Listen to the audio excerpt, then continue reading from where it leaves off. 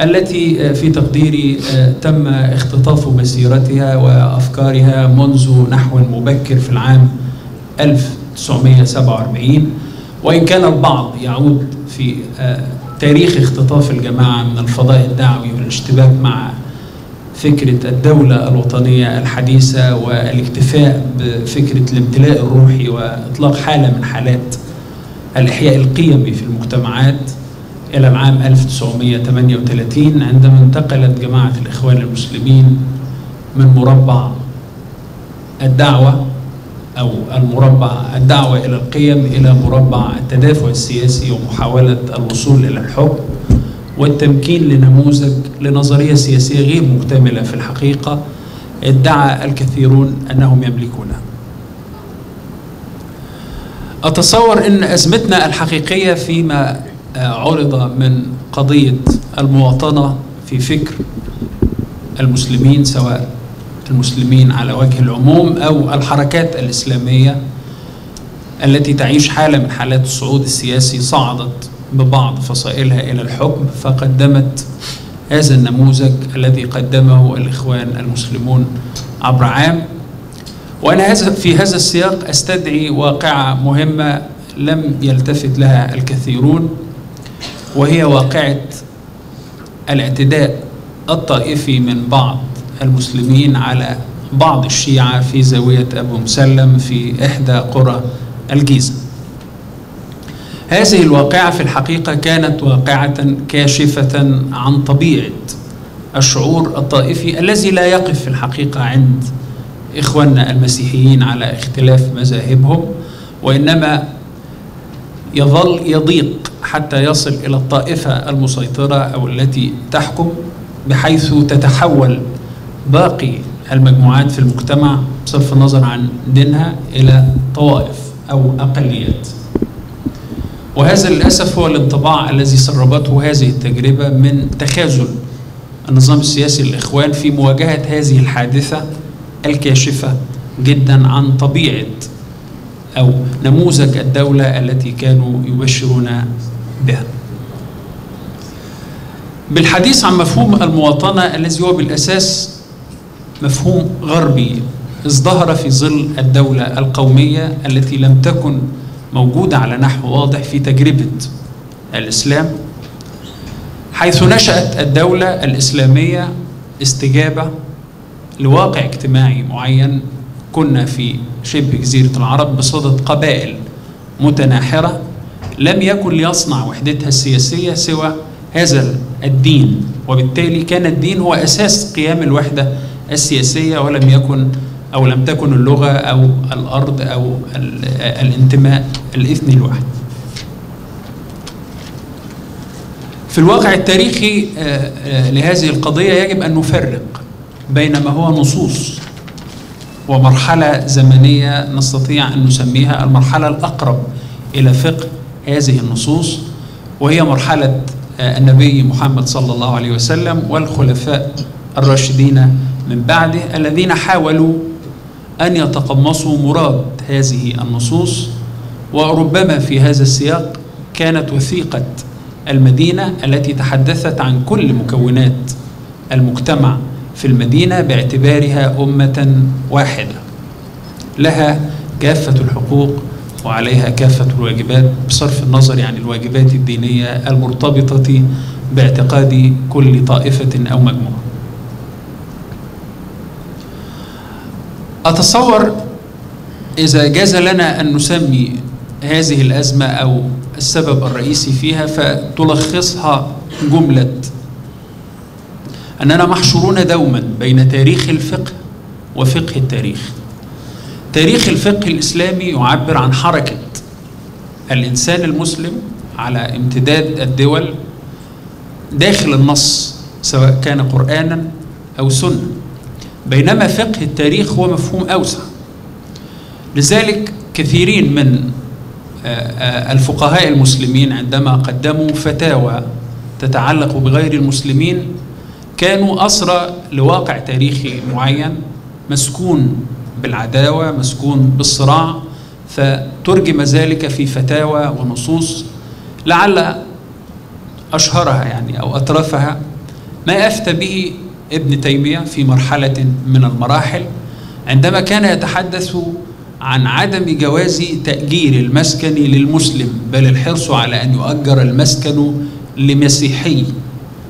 لماذا؟ لكي يرعب المسيحية بطلب الأجرة عندما يتصدى مالك عقار لطلب الأجرة فهذا مشهد يحدث أثرا نفسيا سماه الإرعاب الإرعاب بطلب الأجرة وهي فتوى مشهورة لابن تيمية إنما كانت تعكس هذه المرحلة وفقر التصور فيها وطبيعة الخلاف كل ذلك أفرز فيما بعض فيما, فيما, فيما بعد ذلك تاريخ من هذه الفتاوى التي حلقت حول هذا الأمر وحاولت أن تستدعي من التراث أو من النقل النصوص وظل البعض حتى فيما بعد يبتعد عن النص الأصلي لحساب الفتوى التي اعتمدت على هذا النص فتباعدت الشقة أو المسافة بين مراد النص والذي يفتي أو الذي يتحدث في إطار هذا النص.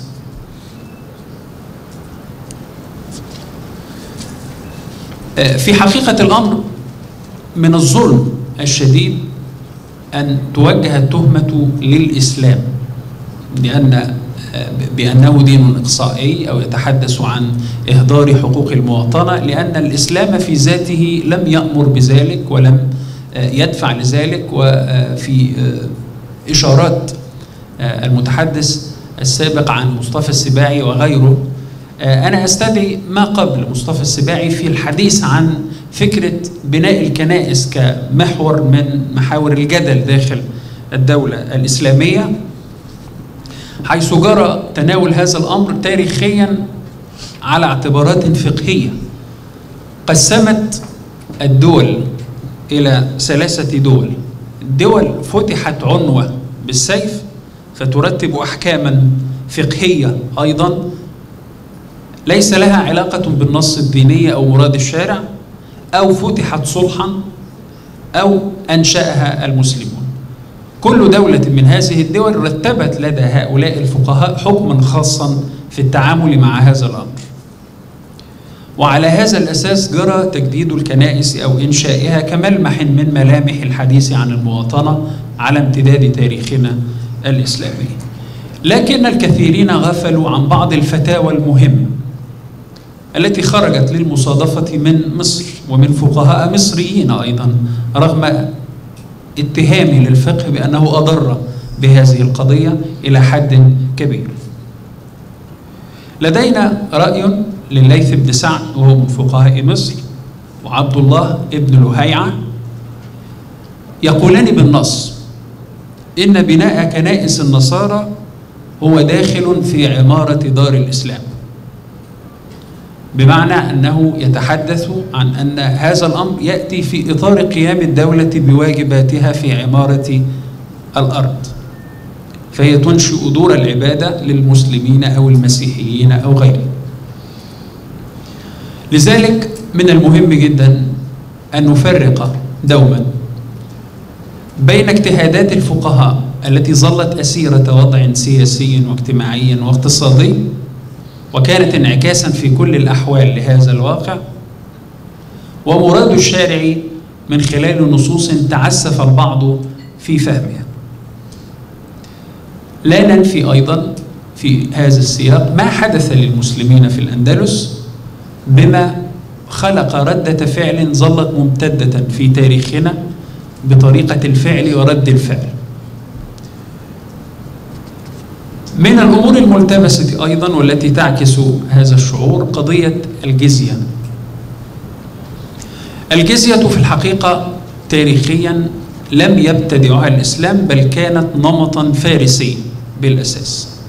وبالتالي يتصورها بعض فقهاء المسلمين على أنها ليست من مراد الشارع بقدر ما كانت استجابة لواقع اجتماعي كقضية الرق مثلا التي حاول الإسلام أن يتعامل معها فيجفف منابعها شيئا فشيئا اعتمادا على تطور الأحوال الاقتصادية والاجتماعية والسياسية. وفي هذا الأطار كانت قضية الجزية يفترض أن تمضي في نفس السياق. ولعل من المفارقات أن مصر بالرغم من أنها يعني دولة في كانت في ظل الخلافة العثمانية تدفع الجزية حتى العام 1962 تقريبا إذا إذا كنت محقا.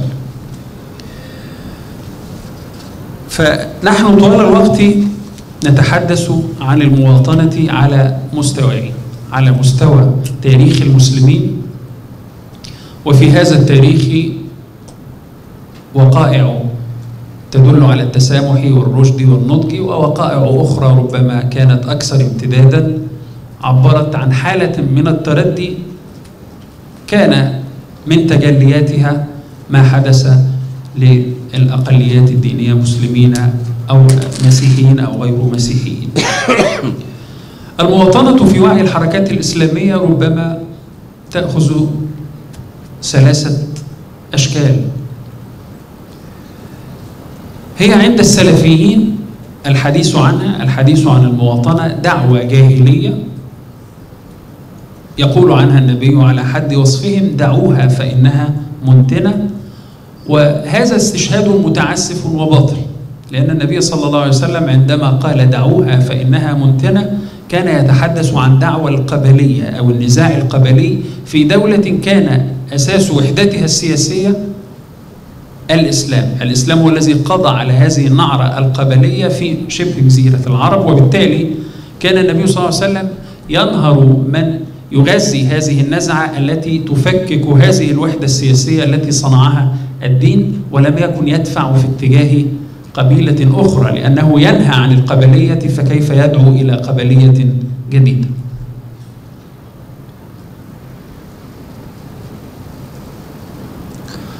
الأزمة في هذه الإشكالية دائما لدى السلفيين هي في قضية الولاء والبراء التي يتعسفون أيضا في فهمها فيعتقدون أنها مناقضة للمواطنة لأن الولاء والبراء يجعل المحبة والنصرة مرتبطة بالدين وليست مرتبطة بالوطن وبالتالي يرون أن المواطنة تتعارض مع المعتقد.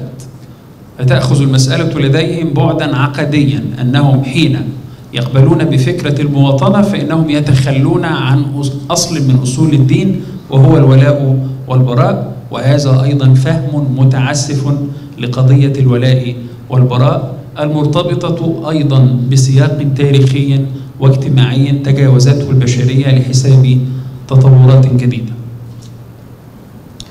ربما كان الإخوان أكثر حرصا أو أكثر مداراة في الحديث عن قضية المواطنة التي كانت جزءا من برنامج سياسي قدموا أنفسهم من خلاله حاولوا من خلاله أن يقدموا صورة ذهنية مختلفة موجهة بالأساس للمجتمع الغربي ولتطمين الأقليات بالشكل الذي يدفع بعض هذه القوى لدعمهم ودمجهم ضمن العملية السياسية لكن الأمر في تقديري لم يكن يتجاوز شكلا من أشكال التقية السياسية التي درجوا عليها منذ وقت مبكر. وفي حديث آه، المتحدث السابق في الفرق بين مصطفى السباعي باعتباره يتحدث عن تيار فكري اجتهادي كان امتدادا لمدرسة محمد رشيد رضا ومحمد عبده الذي تحدث عن الهدايات الأربعة في حياة المسلم فقدم العقل على النقل.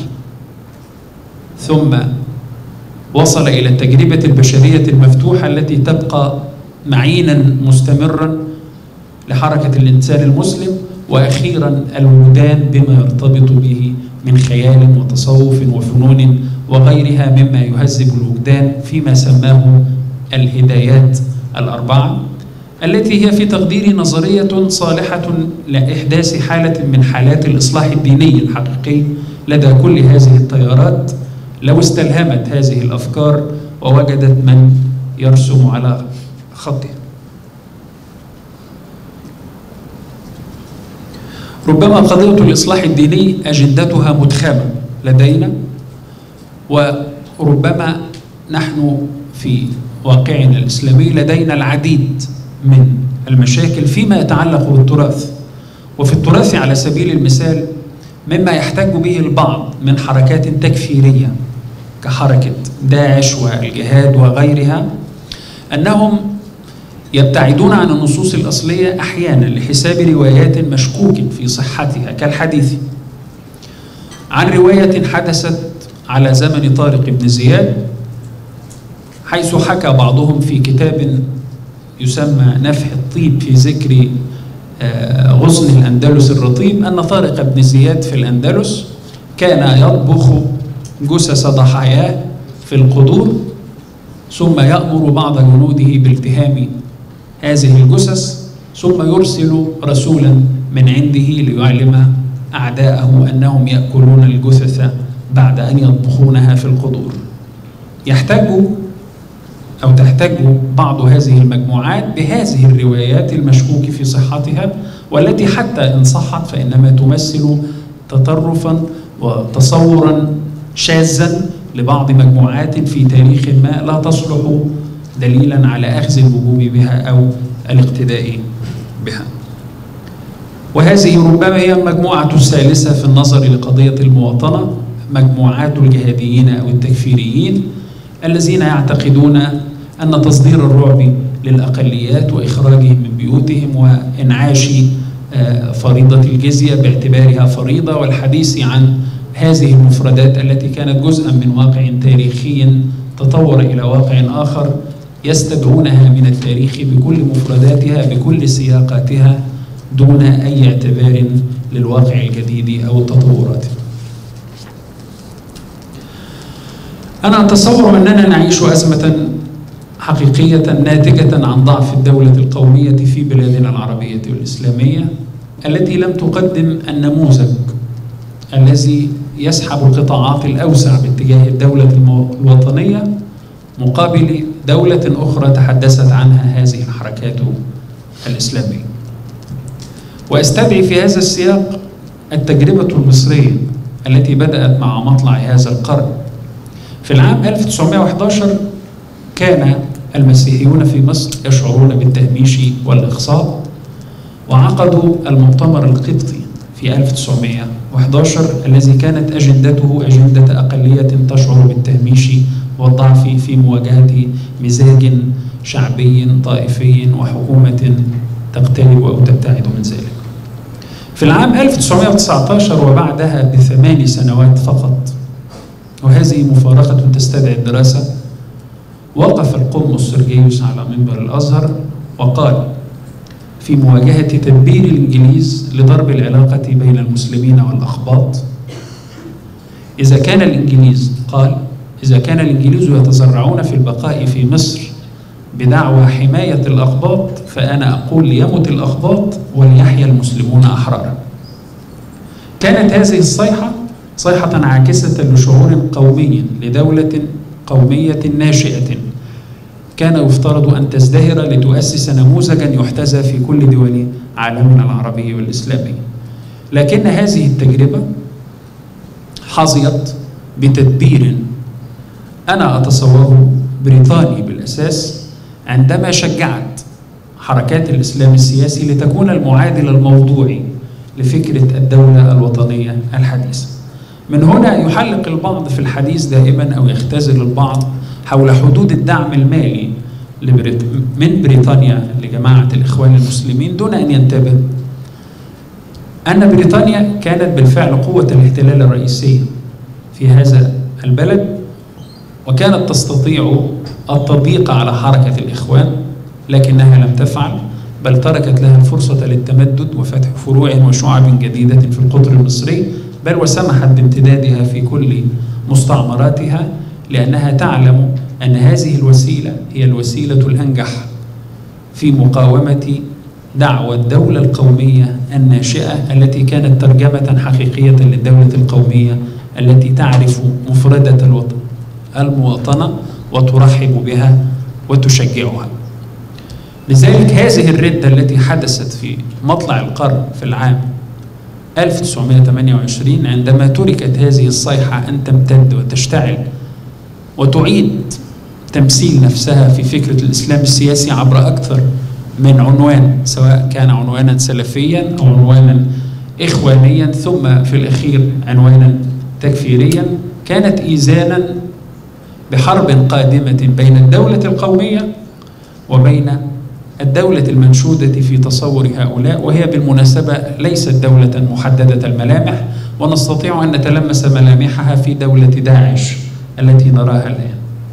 ليس لدى الإسلاميين تصور واضح لمفهوم الدولة. هم يستدعون كل مفردات الدولة الوطنية إلا المواطنة. لأن الفلسفة غائبة فلسفة الدولة ونظرية الدولة غائبة لدى الإسلاميين. الدولة القومية لم تكن اختراعا إسلاميا وبالتالي أخذ منها الإسلاميون ما طاب لهم وتركوا ما لم يرق لهم.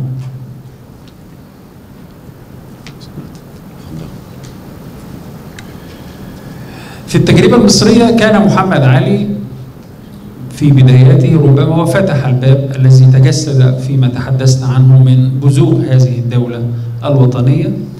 ربما كان الانقطاع الثاني بعد ظهور حركة الإخوان المسلمين في العام 1928 وإعلانها. الخروج من دائرة حركة الإحياء القيمي إلى دائرة العمل السياسي ومحاولة الوصول إلى الحكم والتي للمصادفة على غير فقه كل أهل السنة التقت مع المذهب الشيعي الاثنى عشري في أن الحكم من الأصول وليس من الفروع. قل حسن بنا والحكم في كتبنا الفقهية معدود من الأصول وليس من الفروع على خلاف كل أهل السنة.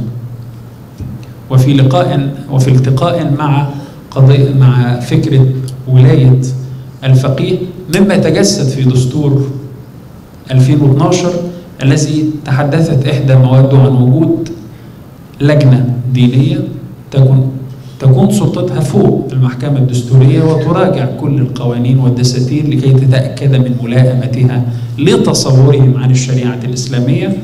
وفي مواجهة مادة في الدستور الإيراني تتحدث عن أن مذهب الدولة هو الإثنى عشرية الجعفرية تحدث الدستور المصري في 2012 في المادة 219 عن أن مذهب الدولة الرسمي هو أهل السنة والجماعة في كما لو كان تراشقا بين السنة والشيعة بين ولاية فقيه سنية وولاية فقيه شيعي.